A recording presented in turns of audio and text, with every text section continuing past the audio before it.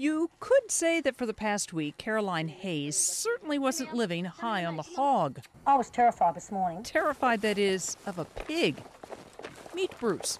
He's a 175 pound hog that she says walked into her farm three days ago and began tearing up her garden and anything else he could get into.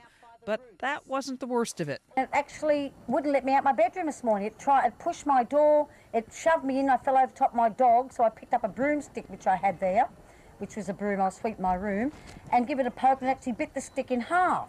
She says even as a seasoned farmer, this animal actually caught her by surprise. Because I just realised, I thought I was a strong woman. I pushed lots of animals away in my life, but I didn't realise the strength of a pig. And when I pushed, there was no way that I could have held this pig away. Bruce's days on the farm are now numbered. She has arranged for him to be taken to a local piggery, where he may be given stud duties. Diane Kepley, The Associated Press.